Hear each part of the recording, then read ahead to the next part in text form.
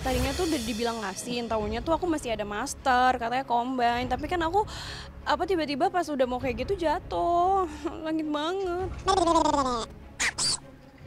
Gimana sih mereka? Ah, Jemput kamu ya, aku ya. Nanti ke rumah sakit ya. Saya jangan diurut, saya udah. Saya jangan diurut. Yang urut tukang make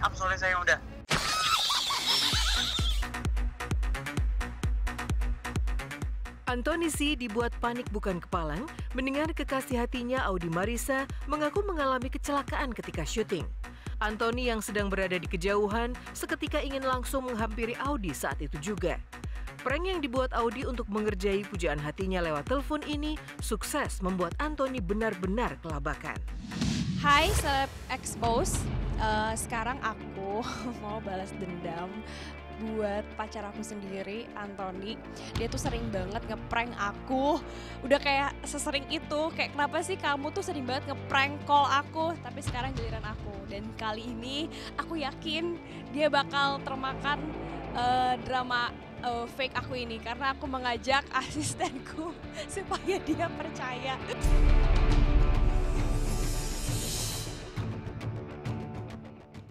Halo Katon? Katon di mana? Gue di habis olahraga kenapa? Eh Ica jatuh lo tahu? Hah? Ica jatuh itunya apa sih? Dari apa dari tali dia lagi adegan Terus gimana? apa sih itu tangannya keseleo ya ini Icanya nih yang ngobrol lah Mana mana? nih nih nih Hah?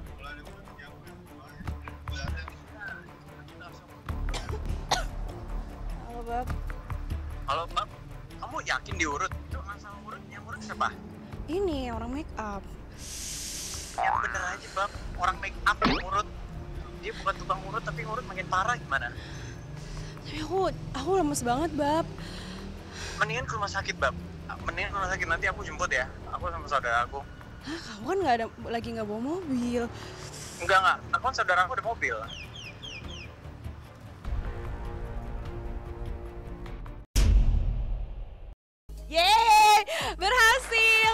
Banget, sumpah.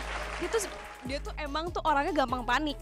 Apalagi kalau udah Oni yang ngomong tuh pasti jadi kayak beneran. Aku juga beberapa kali pernah bohongin dia gitu loh. Tapi dia eh, panik terus tiba-tiba dia ketawa, aku ketahuan eh, kalau aku bohongin dia. Tapi sekarang tadi tuh dia bener-bener percaya loh.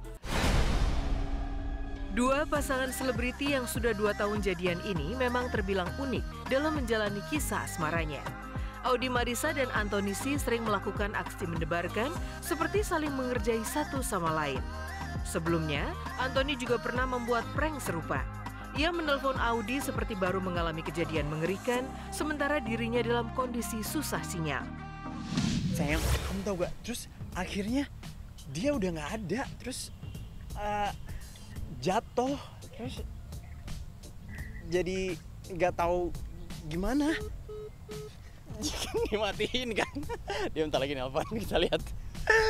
Tadi waktu aku mau nyebrang jalan waktu mau syuting bumper tiba-tiba itu udah langsung si itunya langsung jatuh terus ya nggak tahu lagi gimana lah pokoknya.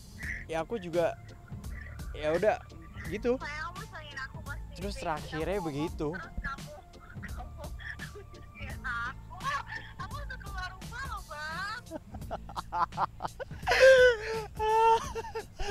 kamu kena prank call sama aku.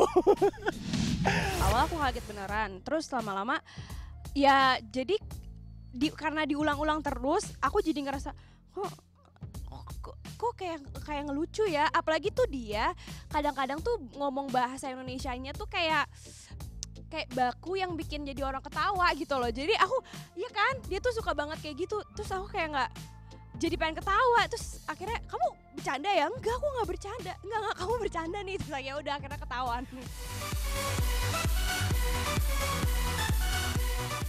Dibanding prank Anthony yang pada akhirnya diketahui Audi, prank Audi lebih sukses. Hingga pembicaraan akhir, Anthony masih tetap percaya jika kekasihnya itu serius mengalami kecelakaan. Beruntung Audi kemudian membongkar jika pengakuannya itu hanyalah prank semata. Lantas, mengapa kedua pasangan ini nampak gemar melakukan prank bahkan saling balas dendam? Akankah aksi prank itu membuat asmara keduanya terancam bubar? Terungkap jika hobi prank ala Audi dan Anthony ini ternyata malah menguatkan cinta di antara keduanya. Kamu kena prank.